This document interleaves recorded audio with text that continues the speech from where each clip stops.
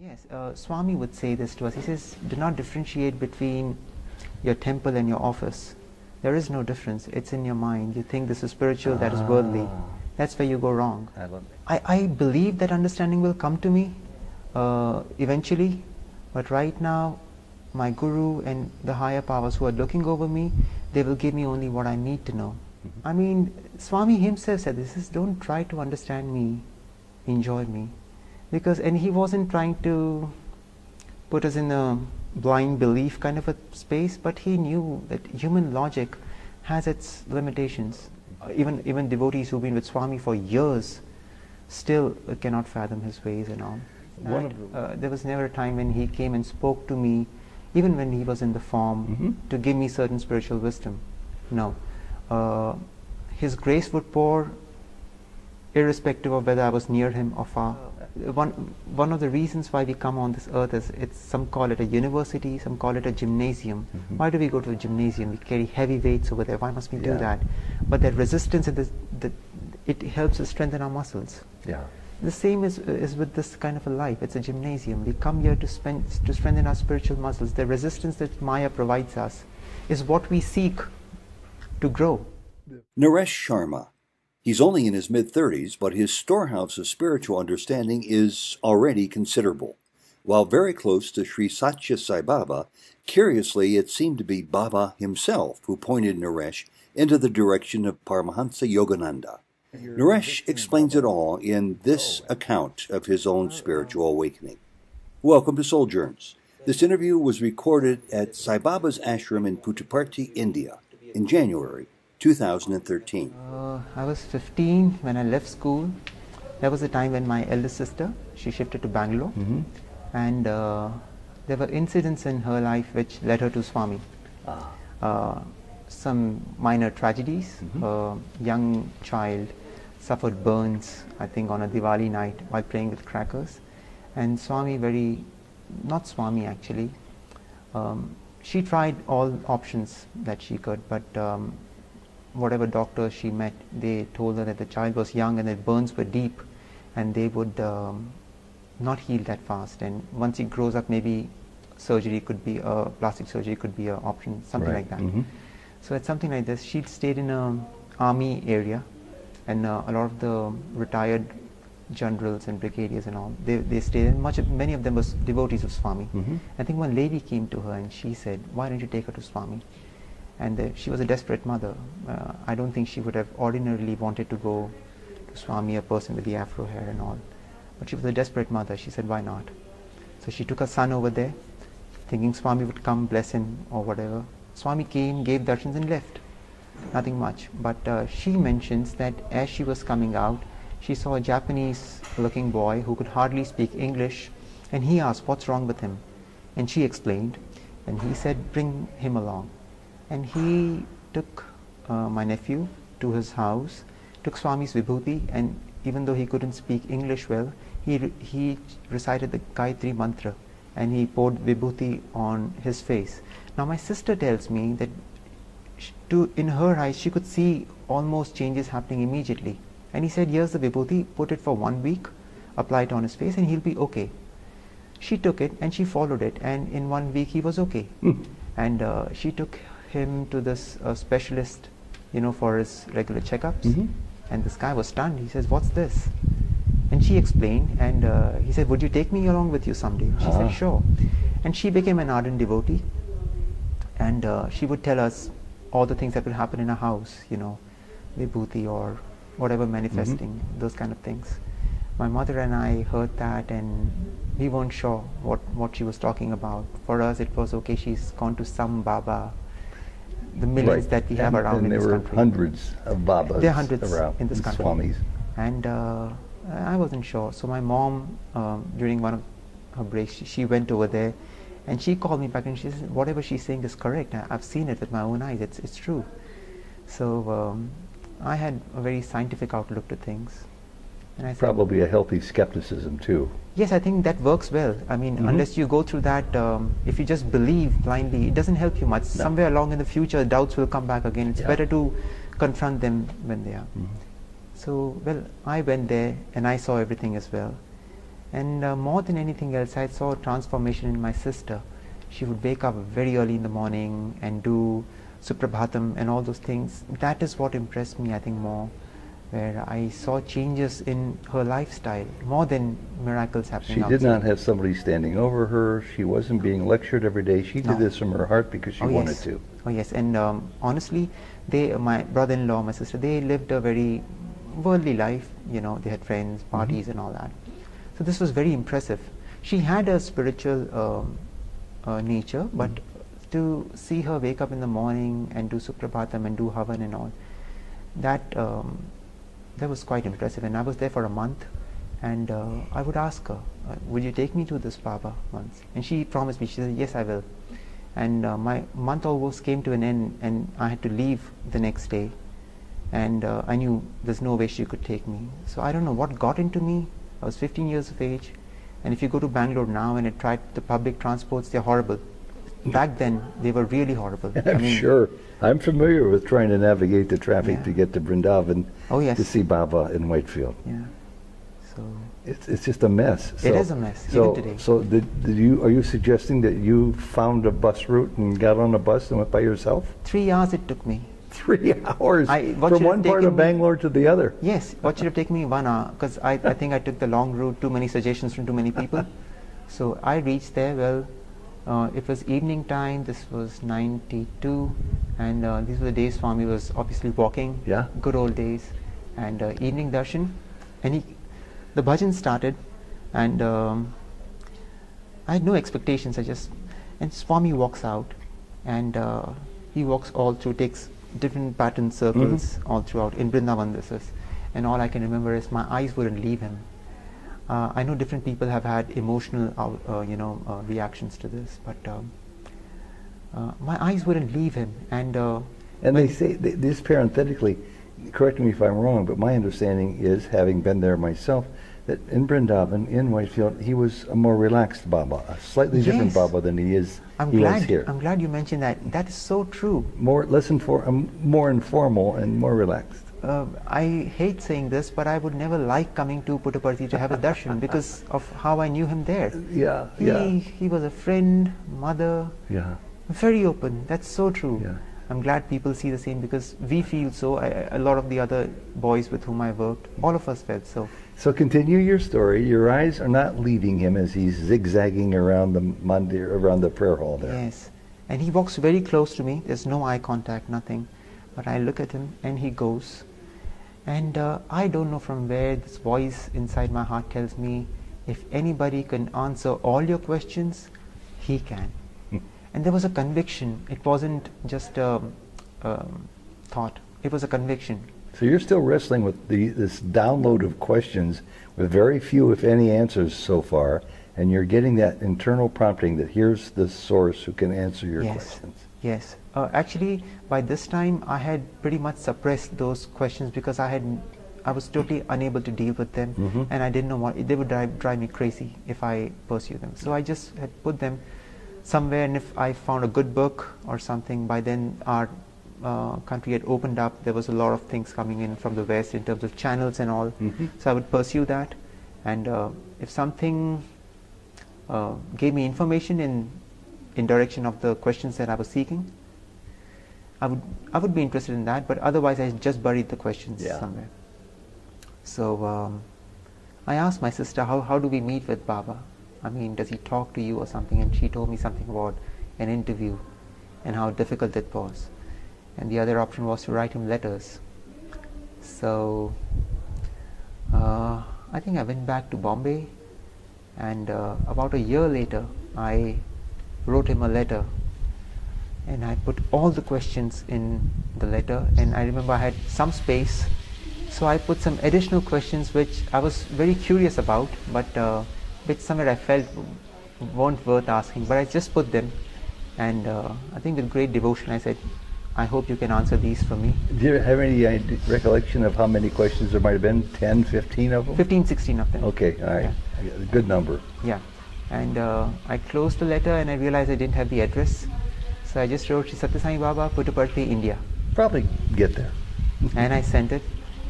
And I'm sure he received it because a year later, Uh, he was in Brindavan, and this one uh, morning, my whole family had been there, and my brother-in-law. It was a Sunday, so large, huge crowd, and uh, you know Brindavan, right? Very and, well, um, yeah. In the early days, there's this railway crossing over there. hmm So if so many people come out and the, there's traffic, Nobody moves.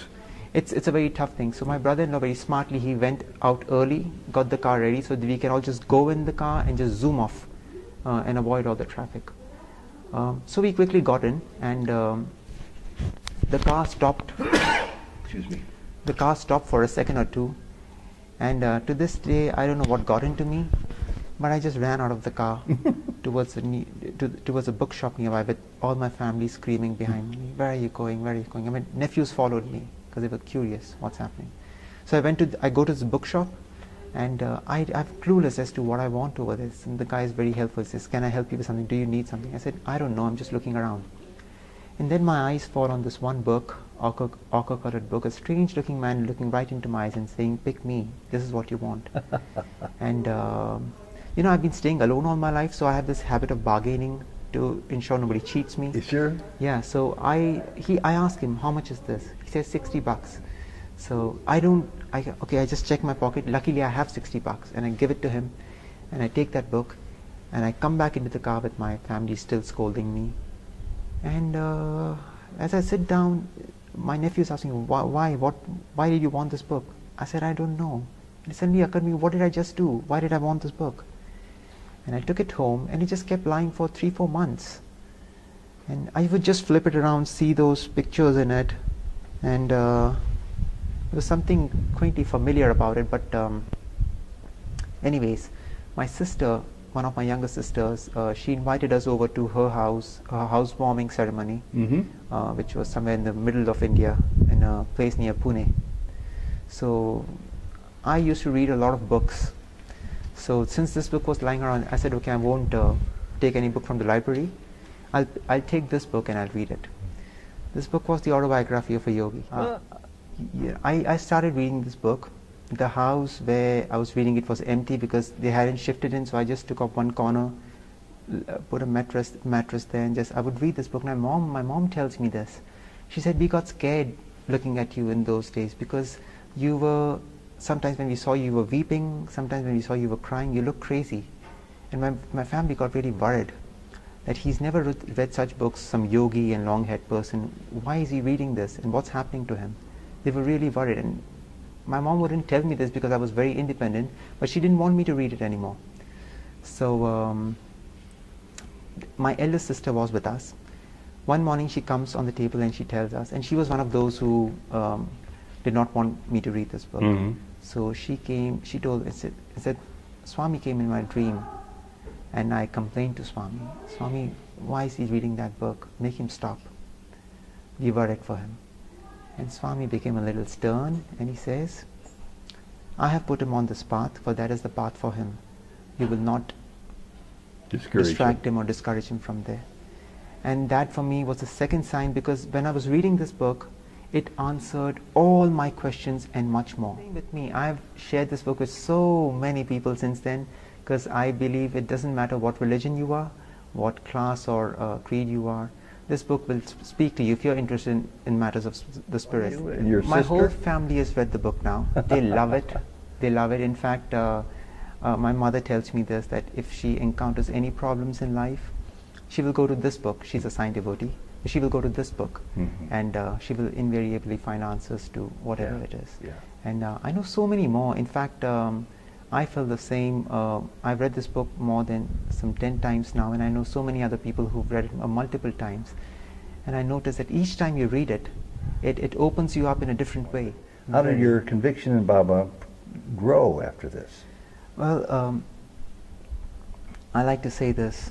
Swami brought me to this path, the autobiography, and the autobiography and the subsequent teachings that I received from uh, Sri Paramahansa Yogananda, my guru now, uh, they helped me understand who Swami was. Mm-hmm.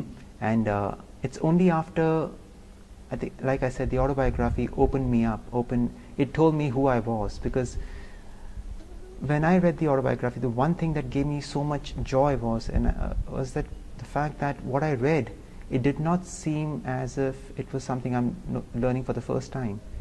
It seemed as if I knew this all along. This book was just confirming it. And surely now you know that that was true. Yes, absolutely. so it told me who I was, in what space, Yeah. in what place in life I was, and uh, my respect and love for Swami grew obviously because I knew I was very grateful, very grateful to him that he answered me in such a way. Well, I have come across many more truths, but I've seen that I'm not amongst those. There's some souls who are so blessed that um, they are, how do I say it?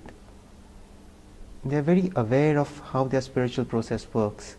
I am not. I am totally at the mercy of Swami, and uh, and uh, he has his way of exposing me the two truths that I'm supposed to know. By the way, this whole book finding, you know, the way Mhm. I found, that's not been the, it's not been the only time. Uh, there have been other times where I've been led to books in mysterious ways again and again, even if I block it out, no, I don't want this. I'm some power has made sure that I come back to that book again and read it, and only when I read it do I realize, ah, that's why I was meant to read this. A second time. Uh, not just the first time, but multiple times in order. whether the first time or the second time but um, no the first time uh, what i mean is uh, the some power will lead me to this book in the bookshop and i will say no i don't want this. Yeah, yeah. and uh, i remember two three such books and uh, I w- it, it was brought in front of me in so many different ways. Some person mentioning it i read it in the newspaper i read it somewhere else somewhere else. It's just coming up in front of me again and again and in very interesting ways. And then i read this and then i realize ah this is why i was meant to. So my understanding has come in that way. So I, I still can't figure out. I'm, I'm like, um, to me, that way each day is exciting. I don't know what will come to me. I guess my obvious question is, does it matter that you know the modality in which this information comes? obviously not. Like I Yeah. said, uh, when the time is right, it will happen. What would you rather have, the insight as to how the information is conveyed to you, or the information? I, I believe that understanding will come to me uh, eventually, but right now, my guru and the higher powers who are looking over me, they will give me only what I need to know. So, you've got your guru. You you're extraordinarily familiar with Sai Baba. After all, you're here again with your parents Yes. in the S block right now, just arriving the other day. Um, what does coming here, while Sai Baba walked the ashram pathways, and now after his body is no longer containing physical life, what does it add to you? How does it shade in some of the corners and some of the edges for your spiritual pursuit? Well, to be honest, Ted, I Sai Baba being in his form or not uh, has never made much difference to my spiritual life in, in a sense that uh, there was never a time when he came and spoke to me, even when he was in the form, Mhm. to give me certain spiritual wisdom. No. Uh, his grace would pour irrespective of whether I was near him or far.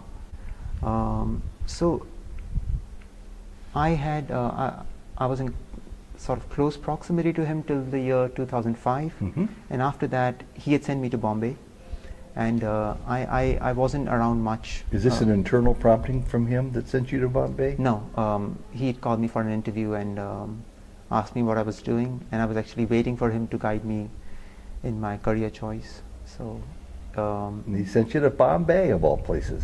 well, yes, uh, and that has its own story. So, uh, but because I was, he knew I was a film student. Mhm. I'd, I'd been very honest, and because I knew he did not like uh, his students watching films and all those things. So when I heard that, I said I must be honest and tell him, look, this is what I've done. Please tell me what would you like me to do, and I'll do that. Mhm. And he asked me, and I told him I was a film student. And uh, he said, well, then Bombay is the place for you. You must go there. And I said, Swami, I don't want to go. I actually even told my mother, if he asks you, tell him he doesn't want to go. He wants to stay with you. Uh-huh. So, um, but Swami said, no, no. I'll Isn't, send you to isn't that Bombay. interesting? He, he, he wants you to go apart from him physically. Yes, uh, and uh, I was wondering about this sometime later, you know, almost a little sad that why did he have to send me away? Mhm. Um, and my friend with whom I was driving back home, he says, if you have given yourself in his hands, let him use you as his instrument. And uh, if he sends you to Bombay, he knows what he's doing. You Yield, just follow. yield to his guidance. Yes, absolutely. Yeah. I'm still struck by the enigma. That's Isaac Tigrett's word of Sai Baba. How does he?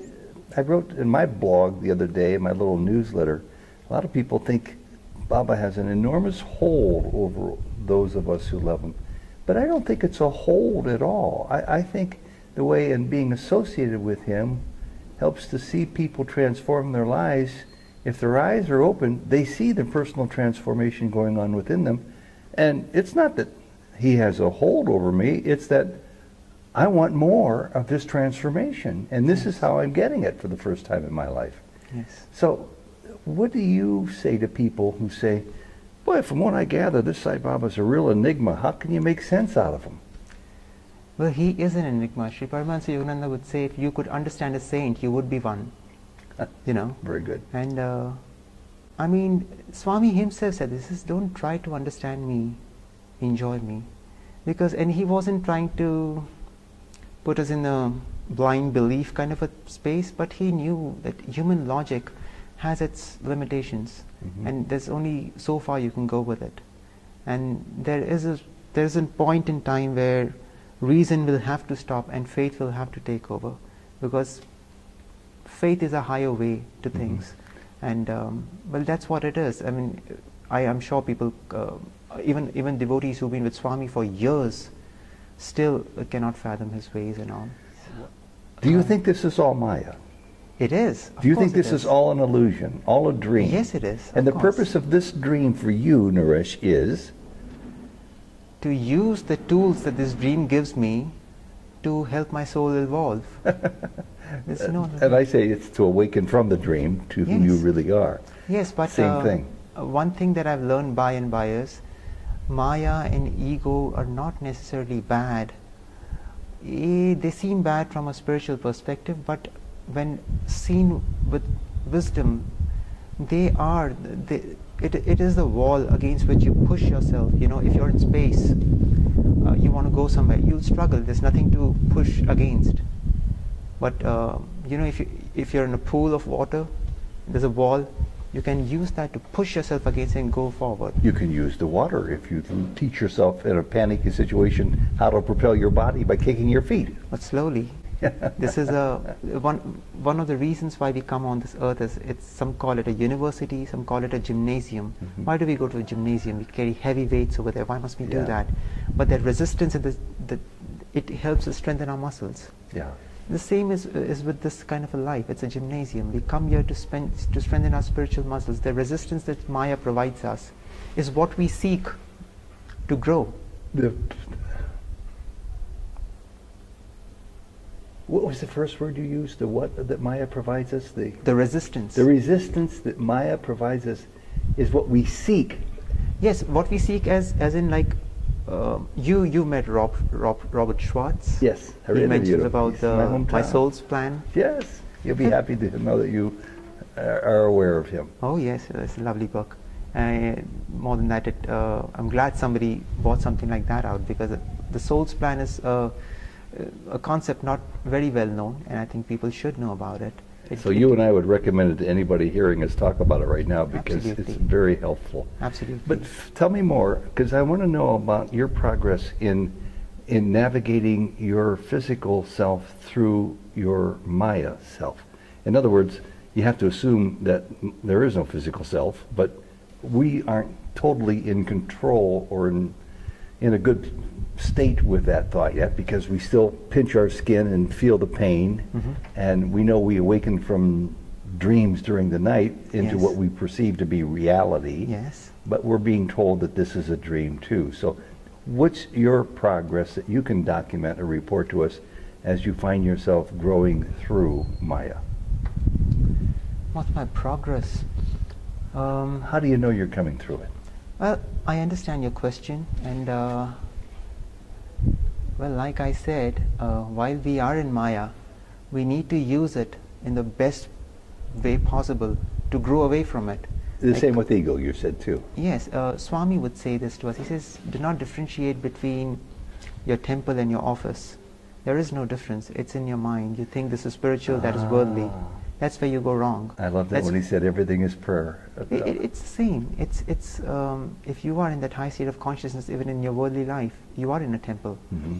Then so uh, we, our mind, uh, with all its smartness, tries to do this. This is Maya. This is not Maya. This is and it, not knowing that in doing so, it is being an instrument of Maya itself. Naresh, you're a 35 year old kid. Where does all this come from? Well, I borrow it from someplace and I share it ahead. Well, yeah, but a lot of people read a lot of books. They don't have the insights you Well, have. maybe I'm a old wine in a new bottle. Could be. Where do you think you're going to be in another 35 years? uh, gee, uh, Ted, I'm we are taught on this path to live in the now. It would be like it would be self-defeating if we if I thought in the for the next 30 years and see myself Yeah. there somewhere. Who knows? You're a good Eckhart Tolle student living in the now, which is also Baba's phrase live in the now. Oh yes. Not the past, not Oh, the yes. future. Why, why, why? Um, and, and the book that he told me twice that he wrote, called A Course in Miracles, talks about the greatest of all miracles, which is your ability to change your thoughts in a second. In other words, if you can go from understanding that all of this material world is real to grasping the notion that it's all Maya, that's a huge miracle. It is. Yeah. It is. So you're you're going through all these steps right now, being fully present in the present moment. Yes. Yet it seems to be limitless. I think one of the things I'm just sort of floundering here, but I'll try to get make a point out of it. Mhm. One of the things that's become most important to me is never having been a good student in my younger years. I find that being a student of spirituality is just about the most exciting field I can ever envision because it doesn't have a final course to graduate from. Yes. It's endless. It's endless. And, and meeting you and meeting the person yesterday and Baba will direct me to somebody new tomorrow.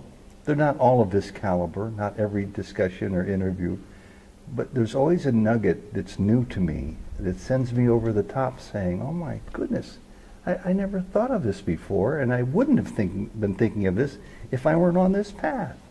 Probably yes. So do you share, do you share, uh, I know you do with, uh, quite well on YouTube, not YouTube, but Facebook and, and your blog. Um, do you go around talking to people? Do you get invited to share your wisdom to groups and individuals? Uh, I have spoken to a group of friends in Bombay um, back in I think three four three years back uh, when this whole new age um, information came to me and I realized that we're on the cusp of a change of a shift. Um, I felt this inner voice telling me that I should go beyond my own shyness. I'm, I'm a, I mentioned this, I'm a shy person. I can't speak. It's very easy for me to sit behind a screen and type something out and share it Uh-huh. without revealing who I am.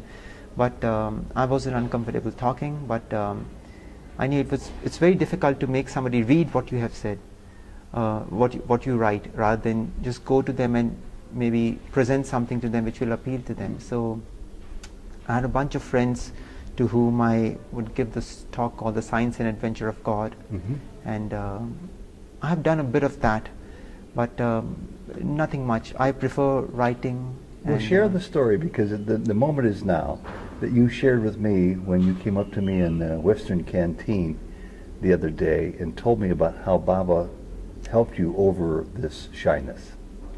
Ah, yes. Uh, this was in uh, 1999. That was my very, very first interview with Swami. He had called us all in, and during the course of the interview, a friend of mine had a three-diamond ring, Mhm. and one of the diamonds had fallen off, as it usually does. And uh, he gave the ring to Swami, and Swami changed it with a blow. Mhm. He changed the ring from a three-diamond ring to a white diamond, one single white diamond Mhm. ring, a huge, and we enjoyed that. Did you see it happen? Yes, I did. And it, uh, see, I've never seen that happen. And I Oh. always ask people when I'm asking you, did he literally hold it up in front of his hand, in front of his mouth, and you could see it? And Yes, he, uh, he you know, um, in, during he was gracing this boy and in the process he was also entertaining us. Uh-huh. because we have the childish i know most of the kids with me uh, they are ardent devotees of swami. We don't look much forward to the miracle part. Yeah. we enjoy being with swami. Sure. but whenever we see a miracle we enjoy it. Oh, yeah, of course. yes. So when he did that uh, th- did this he took the ring from him and he asked each one of us how many diamonds are there? How many diamonds are there? And uh, i don't know telugu so he asked me in hindi. Did he? kitna diamond hai? I said swami two do hai One He missing, two left. yes so he kept it in front of us and he blew it and we saw it turn into a white diamond You saw it turn. yes and we were like oh whatever Like my, my doubts are long since gone. Yet look at my reaction. I'm still delighted when I hear stories like this. Of course, I mean, you could be a kid, you could be 60, 70, 80 years old. Of course, you'd love to see something like that. It, it's it's amazing. Yeah. They're beautiful things, beautiful interactions with Swami. And uh, he gave that ring to that boy, and then he looked at me. A little earlier, he asked me, "You stammer, don't you?" I, I, I don't stammer in Mhm. uh, my normal. As a rule, you don't. You as a child, you No, never no, no. stammer. I, I never stammered. so what did he mean by that? Well, at that point of time, I, I, I just took what was coming. I was too nervous. It was first interview with Swami, and I was, and I knew uh, that's the best thing. That's I'm really one thing I'm grateful for.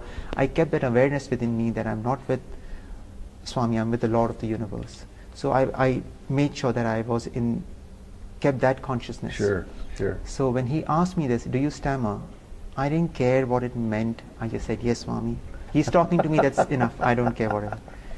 Are you an axe murderer? Yes, Swami. I, I would have, maybe. So, so uh, then he tells me, he says, did you see how I blew that ring and changed that? I said, yes, Swami. He says, I'll change your, stram- your stammering that way. I'll change it. Just right then and there, as he was saying the words, he meant it. That he was yes, going to change uh, it. yes. And you know, like most of the things with Swami, you do not understand it on the spot. What Mhm. does he mean? Because you don't even know that you're aware of stammering, and you didn't stammer. I but, didn't stammer. But in a in a figurative way, maybe you did.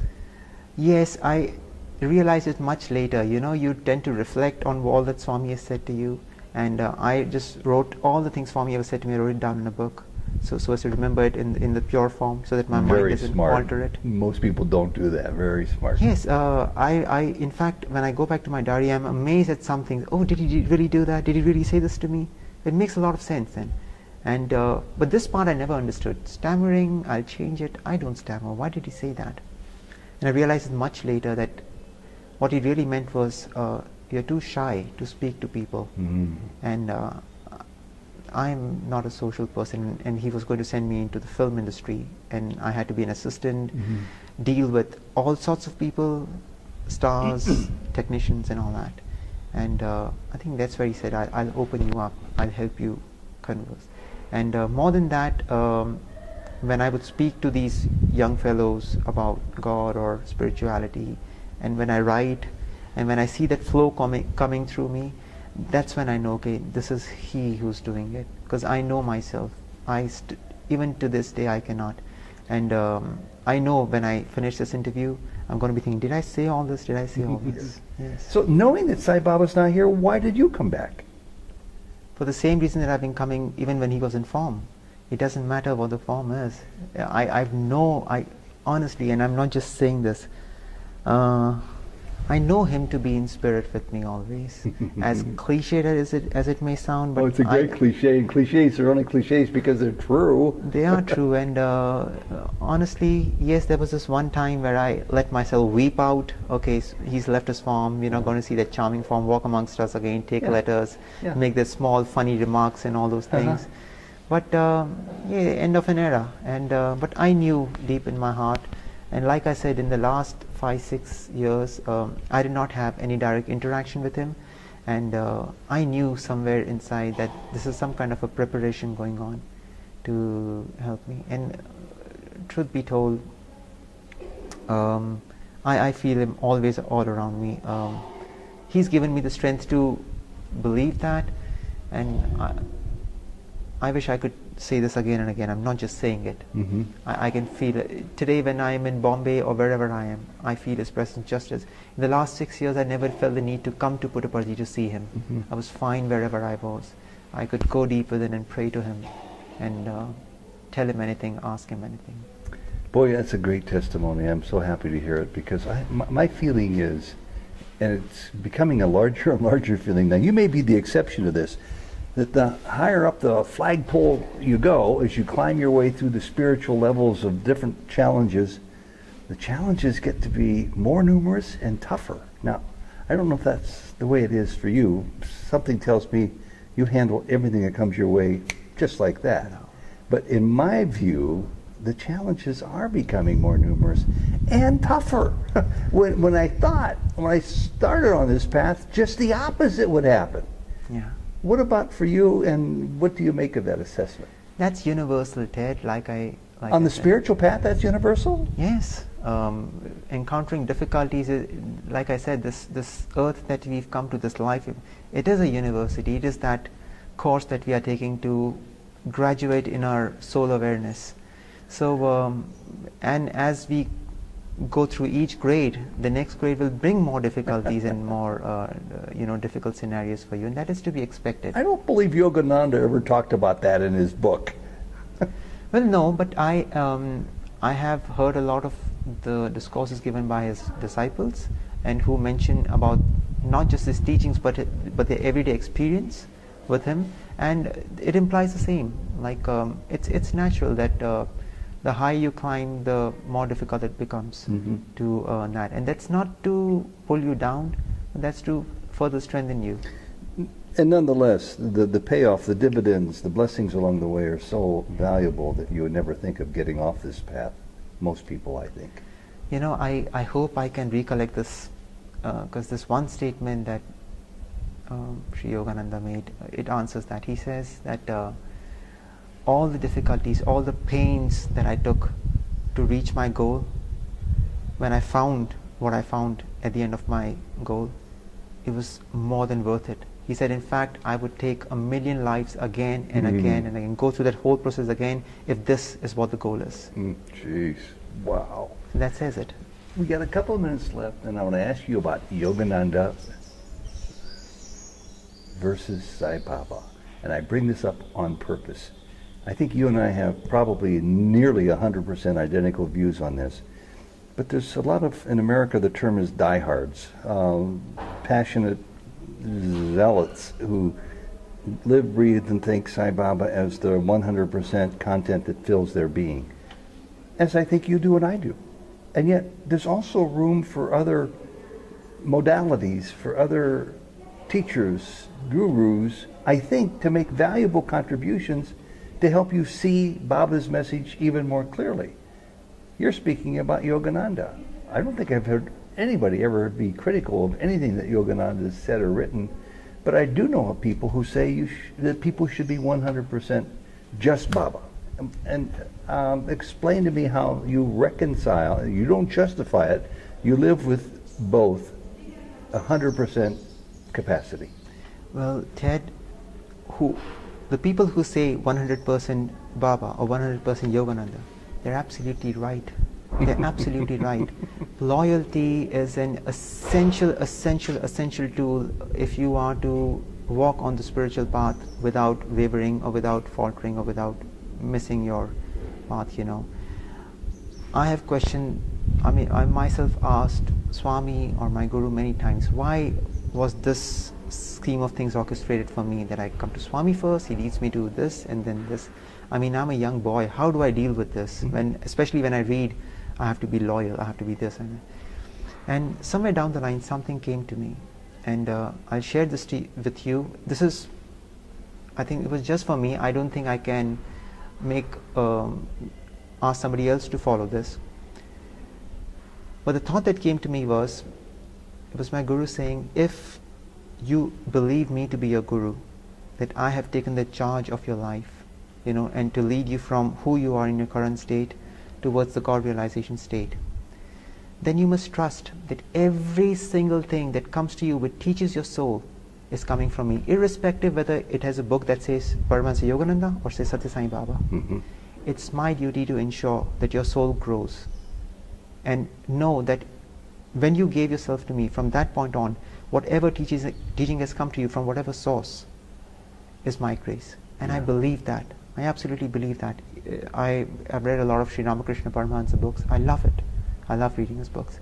And somewhere when at when I feel gratitude, it goes to my guru. Mhm. I don't see any differentiation. It's the same energy. I think it's part of Maya to see the difference. Right.